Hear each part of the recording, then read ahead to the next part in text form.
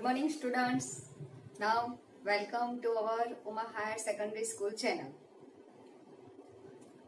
ધીમે ધીમે આપણે યુટ્યુબ ચેનલ દ્વારા જે અદ્યતન ટેકનોલોજીનો ઉપયોગ કરીને ભણવાની શરૂઆત કરી છે તમારો જુદા જુદા વિદ્યાર્થીઓનો રિસ્પોન્સ જોયા પછી મને લાગે છે કે હવે તમે આ પદ્ધતિમાં બરાબર સેટ થઈ ગયા છો વાલીઓનો પણ ખૂબ સરસ રિસ્પોન્સ આવે છે હવે આજે આપણે આપણા વિષય પ્રવેશ તરફ જઈએ છીએ. ઇન્ટ્રોડક્શન ટુ ઇંગ્લિશમાં આપણે જોયું કે આપણે અંગ્રેજીને એક લેંગ્વેજ તરીકે ભણવાનું છે, નહીં કે એક સબ્જેક્ટ તરીકે. એમાં ટેક્સ ગ્રામર અથવા તો સપ્લિમેન્ટરી રીડિંગ આ ત્રણનો આપણે અભ્યાસ કરવાનો છે અને ઇંગ્લિશ લેંગ્વેજને એન્જોય કરવાની છે. ઘણી વખત એવું પહેલા બનતું હશે કે અંગ્રેજી ભણતા ભણતા ટેક્સ વાંચતા વાંચતા ઊંઘ પણ આવતી હશે. પણ અહીંયા એવું બનશે નહીં મિત્રો. આપણે લાસ્ટ વિડીયોમાં જોયું હતું કે આપણી કમ્યુનિકેશન સ્કિલને મજબૂત કરવા માટે જો મહત્વનું ઇંગ્લિશ લેંગ્વેજનો કોઈ ઘટક હોય તો એ છે ગ્રામર અને એ ગ્રામરને જો આપણે બરાબર અભ્યાસ કરીએ છીએ, તો આપણી કમ્યુનિકેશન સ્કિલને આપણે વધારે પાવરફુલ બનાવી શકીએ છીએ. અને એ જ પાવરફુલ બનાવેલી કમ્યુનિકેશન સ્કિલ જ્યારે બારમા પછી આપણે કોલેજમાં જઈશું. આપણે પહેલા વિડીયોઝમાં વાત કરી હતી કે જ્યારે આપણે કોલેજમાં પ્રગ મૂકીશું ત્યારે ઇંગ્લિશ મીડિયમના વિદ્યાર્થી પણ હશે, ગુજરાતી મીડિયમના વિદ્યાર્થી પણ હશે. પણ જે અંગ્રેજી મીડિયમના વિદ્યાર્થી હોય છે, એમની સ્પીચ ફ્લુઅન્સી હોય છે. શા માટે? એવું નથી હોતું કે એમને આપણા કરતા અંગ્રેજી વધારે સારું આવડે છે. પણ પ્રેક્ટિસ મેક મેન પરફેક્ટ. એમનો એ બાબતમાં મહાવરો હોય છે. એટલે આપણે એ એડવાન્સ તૈયારી આ અગિયાર બારમાં કરવાના છીએ. બરાબર? આપણે વાત કરી હતી કે જ્યારે આપણે બોર્ડની પરીક્ષાનું પેપર લખીશું, ત્યારે બોર્ડની પરીક્ષાના પેપરમાં અંગ્રેજી કે કેમેસ્ટ્રી કે ફિઝિક્સ કે બાયોલોજી કે મેથ્સ એવું સબ્જેક્ટનું નામ લખેલું હોતું નથી. પણ આપણને શું કરેલું હોય છે? આપણને કોડ આપેલો હોય છે. તો એ જ રીતે આપણા અંગ્રેજીનો કોડ છે જીરો થર્ટી હવે આપણે ગ્રામર જોઈએ તો અંગ્રેજી ગ્રામરમાં આપણે કયા કયા ટોપિકનો અભ્યાસ કરવાનો છે? એની ઉપર આપણે નજર કરી લઈએ. આટલા જે ટોપિક છે, આ ટોપિક આપણે અંગ્રેજી ગ્રામરમાં ભણવાના છે. અને મિત્રો, આનંદની વાત એ છે કે આમાંથી ઘણા બધા ટોપિક્સ તમે દસમામાં ભણીને આવ્યા છો. ક્લિયર ચલો, છતાં પણ આપણે એક વખત એને જોઈ લઈએ. પહેલો ટોપિક છે identification of language function recognition આઈડેન્ટિફિકેશનની જગ્યાએ બીજું શું શબ્દ હોઈ શકે? રેકોગ્નિશન ઓફ લેંગ્વેજ ફંક્શન એ આવશે ત્રણ માર્ક્સ રાઈટ રિસ્પોન્સ એ આવશે ચાર marks frame question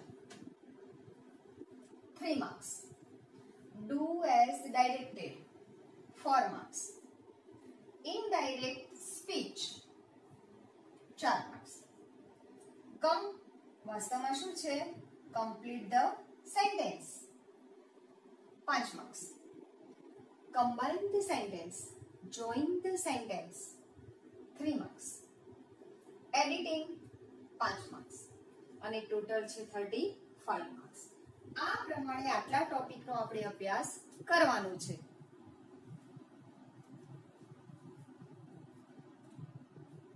હવે આમાં જે મહત્વનો ટોપિક છે, એ છે આપણું કમ્પ્લીટ સેન્ટેન્સ જેમાં આપણે કુલ વીસ ટોપિકનો અભ્યાસ કરવાના છીએ. ચિંતા ના કરો, એ વીસ ટોપિક વીસ ટોપિકમાંથી બે કે ત્રણ ટોપિક જ આપણા માટે નવા હશે. બાકી બધા જ આપણે દસમામાં શીખીને આવ્યા છીએ. જો કે અહીંયા આપણે દરેકે દરેક ટોપિકનું સુંદર મજાનું રિવિઝન કરવાના છીએ અને એમાં પણ ધોરણ અગિયારમાં આપણે પંદરેક ટોપિકનો અભ્યાસ કરશું. અને બાકીના ટોપિક છે આપણે બારમામાં. પહેલા આને બરાબર એક વખત સમજી લો. હવે અંદર શું કરવાનું છે એ આપણે જોઈ લઈએ. આઈડેન્ટિફિકેશન ઓફ લેંગ્વેજ ફંક્શન એનો મતલબ ભાષાનું જે નામ છે એ નામને આપણે ઓળખવાનું છે. આપેલું વાક્ય છે એ ગ્રામરના કયા ફંક્શનમાં આવે છે?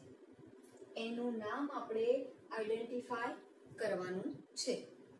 Write response. આપેલું વાક્ય છે રાઈટ રિસ્પોન્સમાં બે વચ્ચેનું કન્વર્જેશન, સંવાદ છે. અને એ સંવાદમાં એક વ્યક્તિ જ્યારે કંઈ બોલે છે, એનો રિસ્પોન્સ શું હોઈ શકે? એ રિસ્પોન્સ આપણે પસંદ કરીને નીચે ચાર ઓપ્શન આપેલા હશે એમસીક્યુમાંથી એમાંથી પસંદ કરીને આપણે લખવાનું છે. ફ્રેમ ક્વેશ્ચન પ્રશ્ન બનાવવાનો છે. આ તો બહુ સહેલું છે. આ તો આપણે what where when why how many આ બધા ડબલ્યુએચ ક્વેશ્ચનથી આપણે પ્રશ્ન બનાવતા હતા. તો એની વાક્ય રચના કયા ડબલ્યુએચ ક્વેશ્ચનની કઈ વાક્ય રચના થાય?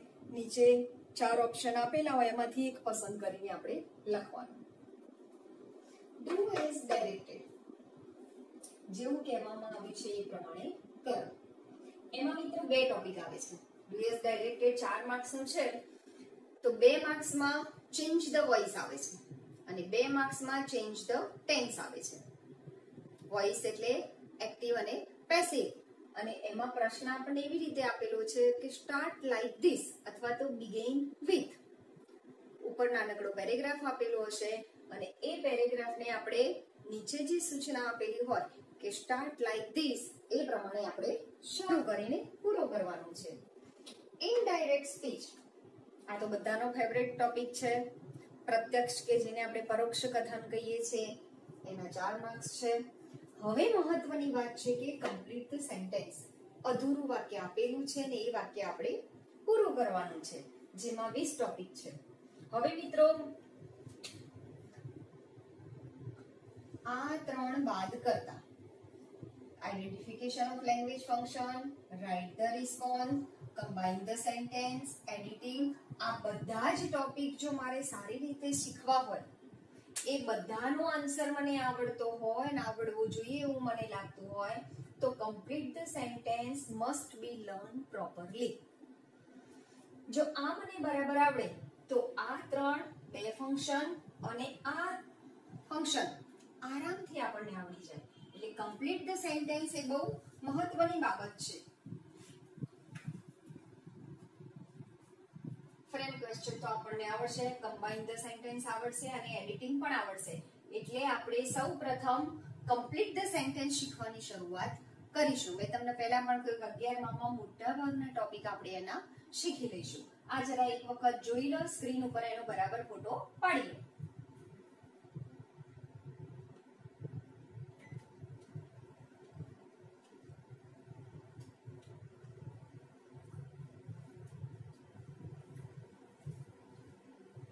ચલો ક્લિયર મિત્રો, આજે આપણે એક નવો ટોપિક શીખવા માટે જઈ રહ્યા છીએ. કુલ આ બધા જ જે ક્વેશ્ચન છે, એ thirty five mark thirty one marks એકત્રીસ માર્ક્સનું આપણને ગ્રામર પૂછાશે. જેમ જેમ ટેક્સ આવશે, તો ટેક્સમાં પણ કઈ રીતે, કેટલા માર્ક્સનું કેવી રીતે પૂછાશે? જ્યારે આપણે ટેક્સ શરૂ કરશું, ત્યારે એનો અભ્યાસ કરીશું. એ જ રીતે સપ્લિમેન્ટરી રીડિંગ જ્યારે આપણે શરૂ કરીશું, તો સપ્લિમેન્ટરી રીડિંગનું માળખું કેવી રીતે પૂછાશે? એનો અભ્યાસ કરીશું. હાલ આપણે શરૂ કરવા જઈ રહ્યા છીએ કમ્પ્લીટ ધ સેન્ટેન્સ એટલે કમ્પ્લીટ ધ સેન્ટેન્સ આપણે શીખીશું, તો એમાં આ પણ આવી જશે રાઈટ રિસ્પોન્સ પણ આવી જશે. કમ્બાઇન સેન્ટેન્સમાં તો બે ત્રણ પ્રકારના હોય છે.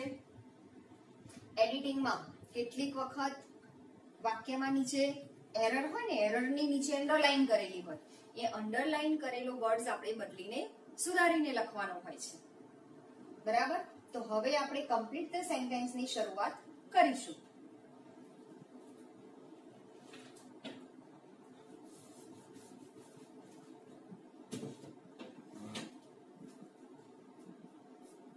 Okay. Now we will learn complete the sentence and our topic is use of to and so that. જો મિત્રો આપણે ક્યાંય ઘરની બહાર નીકળ્યા હોય કે ઘરમાં બેઠા હોય, આપણને શું ગમે અને કેવું ગમે? કારણ કે આ હું જે કંઈ પણ શીખું છું, હું જે કંઈ પણ મારા નોટમાં લખું છું, કે મારા માઇન્ડમાં કોપી પેસ્ટ કરું છું, એ મારે શું કરવાનું છે? એ મારે કોને બતાવવાનું છે? કોઈના લગ્નમાં બતાવવાનું છે? કોઈની સગાઈમાં બતાવવાનું છે? આ જે કંઈ પણ કરીએ છીએ, શું કરવાનું છે? મારે પરીક્ષામાં એક્સપ્રેસ કરવાનું છે. હું જે કંઈ પણ શીખું છું એ મારે પરીક્ષામાં લખીને બતાવવાનું છે. સૌથી મહત્વની વાત છે કે જ્યારે હું પરીક્ષામાં પેપર લખતો હોઉં કે લખતી હોઉં, ત્યારે મારું ક્વેશ્ચન પેપર અને એમાંથી જોઈને જો હું આન્સર પેપર લખું છું, એ મારું આન્સર પેપર કેવું હોવું જોઈએ? મારી સરસ મજાની બનાવેલી નોટ જેવું. હવે જ્યારે આપણે નોટ બનાવીએ છીએ ત્યારે આપણી નોટ કેવી હોવી જોઈએ? ઘણા બધા વિદ્યાર્થીના મિત્રો તો મારા કરતા પણ અક્ષર બહુ સરસ આવતા હશે. તો પદ્ધતિસર આપણે બે કલરની પેન વાપરીને સરસ મજાની નોટ બનાવશું. શા માટે આપણે આટલી મહેનત કરશું મિત્રો? તો આજે અગિયારમાં તમે ગ્રામરની નોટ બનાવવાના છો. ગ્રામર માટેની નોટની વાત છે. એ નોટ અગિયાર અને બાર બંને ધોરણમાં સેમ જ હશે. આ જે ટોપિક આપણે શીખીએ છીએ એ જ ટોપિક અગિયારમામાં અને બારમામાં સેમ જ આવવાનો છે. કમ્પ્લીટ ધ સેન્ટેન્સમાં જે વીસ ટોપિક આવવાના છે, એ વીસે વીસ ટોપિક અગિયારમાના અને બારમાના સેમ જ છે. એટલે અત્યારે આપણે જે ગ્રામર લખીશું, ભલે અત્યારે કદાચ તમારી પાસે વિડીયોઝ જોતી વખતે નોટ ના હોય તો આપણે રફ નોટમાં લખી રાખીએ. પણ પછી થોડાક સમયમાં આપણી અનુકૂળતાએ સરસ મજાની જો શક્ય હોય તો પાકા પૂંઠાનો ચોપડો અથવા તો કાચા પૂંઠાનો, પણ એવો ચોપડો બનાવશું કે બારમા ધોરણની બોર્ડની પરીક્ષા આપણે સરસ મજાની નોટમાં સારા અક્ષરે લખીશું, જેથી કરીને બે વર્ષ સુધી એમાંથી વાંચી અને વાક્ય અને આપણી કોમ્યુનિકેશન સ્કિલને વધારે મજબૂત બનાવવા માટે ગ્રામરને સમજવાનો પ્રયત્ન કરવાનો છે. પહેલો આપણો ટોપિક છે use of too and so that હવે પહેલું છે ટુ ટુ મચ એનો મતલબ વધારે પડતું. બીજો એનો મિનિંગ થાય છે નેગેટિવ મિનિંગ હવે ટી ડબલ ઓ ટુ છે. એનો તમે રેગ્યુલર ઉપયોગ જોયો હશે. ટુ એટલે ઓલ્સો પણ થાય, એટલે કે પણ. પણ અહીંયા આપણે એને જુદા અર્થમાં શીખવાનું છે. જ્યારે ટુ વપરાય ત્યારે વાક્યમાં વધારે પડતો નેગેટિવ અર્થ વાપરવાનો છે. અને એ જ્યારે વાપરેલું હોય ને આપણે લેંગ્વેજ ફંક્શન તરીકે આઈડેન્ટિફાય કરવાનું હોય, તો પણ એનો અર્થ એવું થશે કે નેગેટિવ એમાં નોટ દેખાતું નથી, પણ ઇનબિલ્ડ તો છે જ. હવે આપણે એનું સ્ટ્રક્ચર સમજવાનો પ્રયત્ન કરીએ. તો સ્ટ્રક્ચર ઓફ ટુ એટલે કે એની વાક્ય રચનામાં શું શું આવશે, કેવી રીતે આવશે? તો પહેલા too adjective to V one હવે આ વી વન એટલે શું મિત્રો? ચલો, પહેલા આપણે જોઈએ કે ટી ડબલ ઓ ટુ પછી તરત આપણે શું લખવાનું છે? એડજેક્ટિવ એડજેક્ટિવ એટલે આપણે જ્યારે ગ્રામર શીખતા હતા ગુજરાતીમાં, નામ, સર્વનામ ક્રિયા વિશેષણ, ક્રિયાપદ, આમાં એડજેક્ટિવ પણ આવે. એડજેક્ટિવ એટલે વિશેષણ. વિશેષતા બતાવનાર શબ્દ કે વિશેષતા બતાવનાર વાક્ય. જ્યારે કોઈ શબ્દ કે વાક્યના અર્થમાં વિશેષતા બતાવવાની હોય, ત્યારે આપણે એડજેક્ટિવ વાપરીએ છીએ. બરાબર? તો ટી ડબલ ટુ લખીએ, એના પછી તરત એડજેક્ટિવ પછી ટુ ઇન્ફિનિટિવ અને એના પછી વી વન હવે વી વન એટલે શું? તો વી એટલે વર્ગ. વીને આપણે શું સમજીશું? વી એટલે વર્ગ. બરાબર? અને એની નીચે વન હવે ક્રિયાપદના જુદા જુદા રૂપ આવે છે. આપણે જ્યારે ટેન્સ શીખતા હતા હજુ આપણે પણ જ્યારે ગ્રામર શીખીશું, ત્યારે એ વાતનો આપણે ફરીથી ઉલ્લેખ કરશું. તો ક્રિયાપદના એક જ વ્યક્તિ હોય ને, તે એક જ વ્યક્તિના ઘરમાં જુદા જુદા સંબંધો હોય. એ પિતા પણ હોઈ શકે, પુત્ર પણ હોઈ શકે, ભાઈ પણ હોઈ શકે. બરાબર છે ને? એ જ રીતે ક્રિયાપદ છે ને, એ મૂળ રૂપમાં હોય, પછી આઈએનજી વાળું ક્રિયાપદ હોય, ભૂતકાળનું ક્રિયાપદ હોય પાસ્ટ પાર્ટિસિપલનું ક્રિયાપદ હોય પણ વી વન એટલે ક્રિયાપદનું મૂળ રૂપ. ઓકે? એટલે વી વન ને આપણે કેવી રીતે સમજશું? વી વન નો મતલબ શું કરીશું આપણે?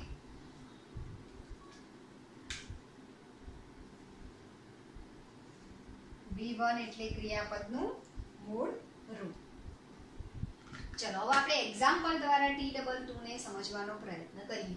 મનન ઇઝ ટુ.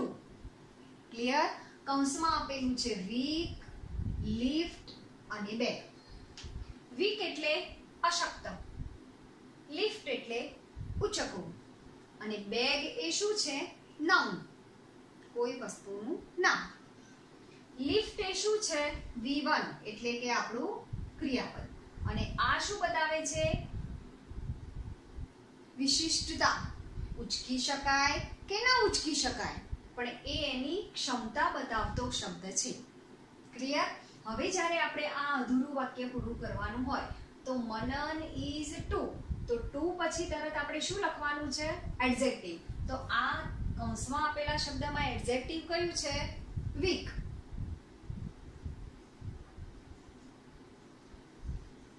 ટુ વીક ચાલો.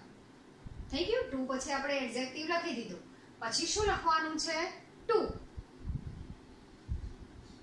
પછી વી વન કયું લખવાનું? લિફ્ટ અને શું ઉચકવાનું છે? બેગ જ્યારે આપેલા ક્રિયાપદને આપણે શુંથી પ્રશ્ન પૂછીએ, અને જે આપણને મળે એને શું કહેવાય? નામ. ઉચકવું છે શું? તો બેગ તો બેગ એ શું કહેવાય? નામ. Manan is too weak to lift bag bag ઉચકવા માટે મનન ટુ વીક વધારે પડતો અશક્ત છે. એટલે કે બેગ નેગેટિવ અર્થ શું થશે? મનન બેગ ઉચકી શકતો નથી. ચલો બીજું વાક્ય. The sum was. શું છે? The sum was to કૌંસમાં આપેલું છે ડિફિકલ્ટ આઈ અને સો ચલો ડિફિકલ્ટ શું છે? એડજેક્ટિવ આઈ શું છે? સબ્જેક્ટ સોલ્વ શું છે? વર્બ એટલે કે ક્રિયાપદ. ક્લિયર બધા મિત્રોને બરાબર સમજણ પડે છે? જો સમજણ ન પડતી હોય, તો મને રિસ્પોન્સ આપજો. બરાબર? ચલો.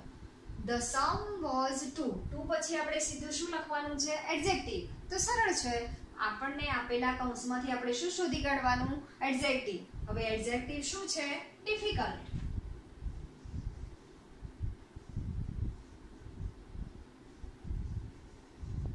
ટુ ડિફિકલ્ટ ટુ પછી ક્રિયાપદનું શું મૂળ લખવાનું છે? ટુ સોલ્વ હવે આપણને બીજું બ્રેકેટમાં શબ્દ આપેલું, જ્યારે આપણે કમ્પ્લીટ ધ સેન્ટેન્સ લખીએ ત્યારે બ્રેકેટમાં જેટલા વર્ડ્સ આપેલા હોય એ દરેકે દરેક વર્ડ્સ આપણે વાપરવા પડશે જ. બરાબર? હવે આઈ આપેલો છે, તો આઈને મારે કેવી રીતે મૂકવાનો?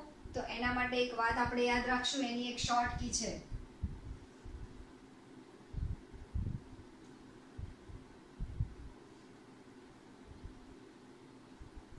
જ્યારે કૌંસમાં કરતા આપેલો હોય અને ટી ડબલ ઓ ટુ વાળા વાક્યમાં કરતા મૂકવાનું હોય તો પહેલા કર્તાની પહેલા આપણે શું લખીશું?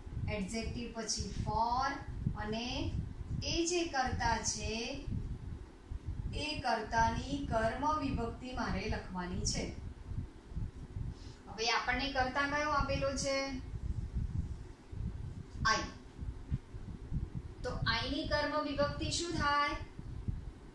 એક્ટિવેસીમાં તમે શીખ્યા હશો.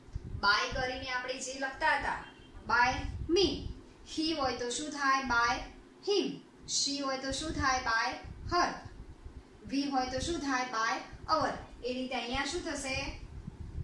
The sum was too difficult for me to solve. To solve the sum was too difficult for me to solve એટલે કે દાખલો.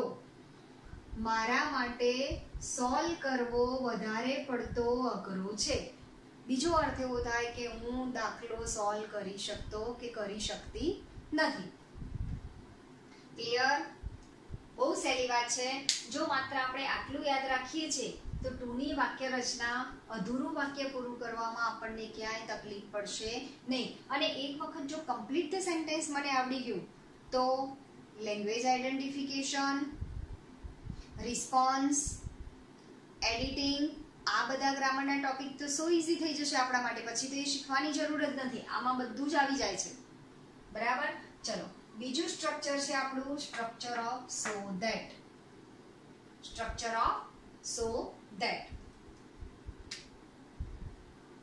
ચલો સો ધેટ સો પછી તરત શું લખવાનું છે? એડજેક્ટિવ અને ધેટ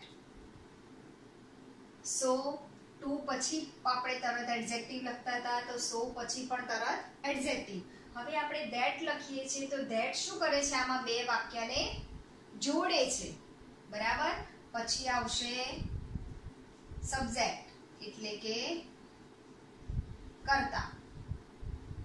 ખ્યાલ આવી ગયો? હવે શું આવશે? એયુએક્સઆઈ એટલે કે મોડલ ઓક્ઝિલરી બરાબર? કયું મોડલ ઓક્ઝિલરી આપણે વાપરવાનું છે?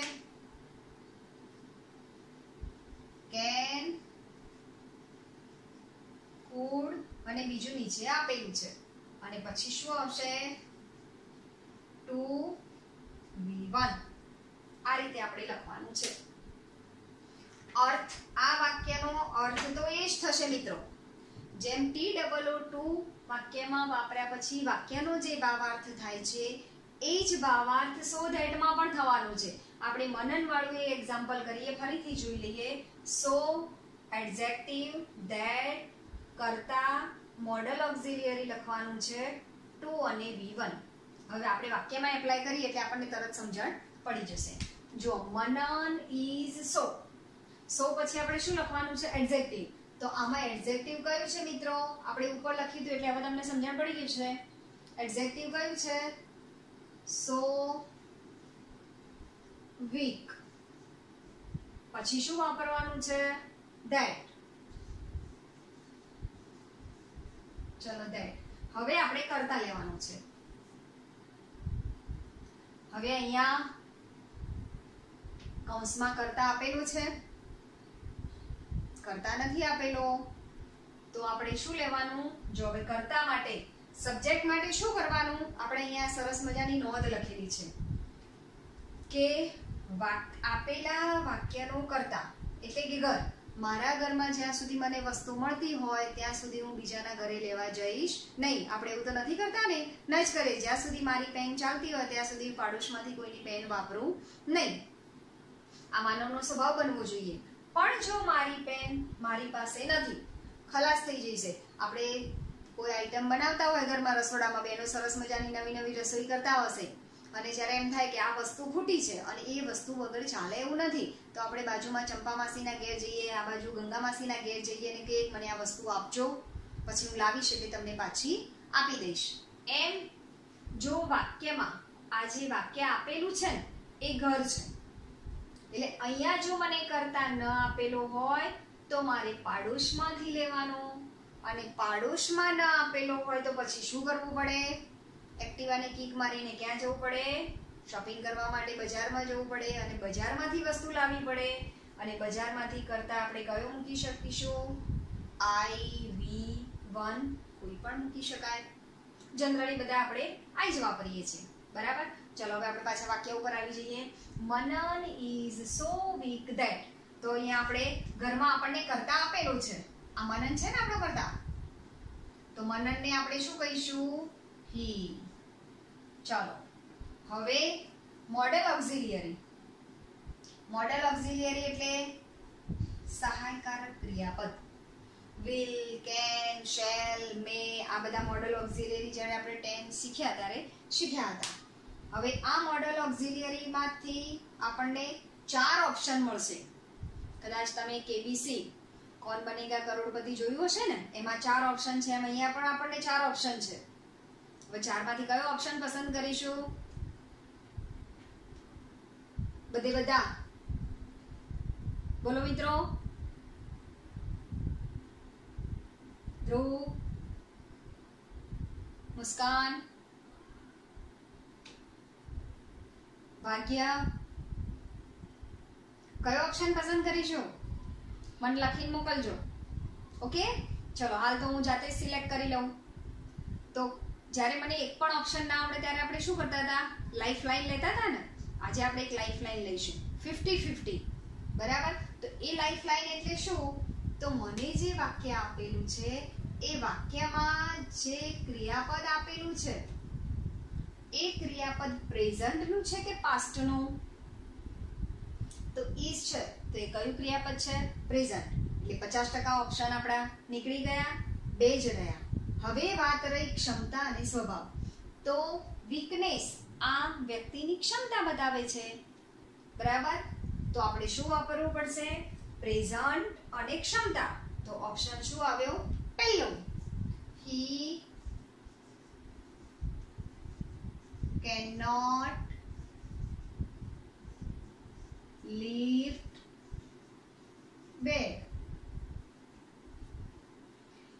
Manan is so weak that he cannot lift bag. એટલો બધો અશક્ત છે કે બેગ ઉચકી શકતો નથી. એટલે કે બેગ ઉચકવા માટે એ કેપેબલ નથી.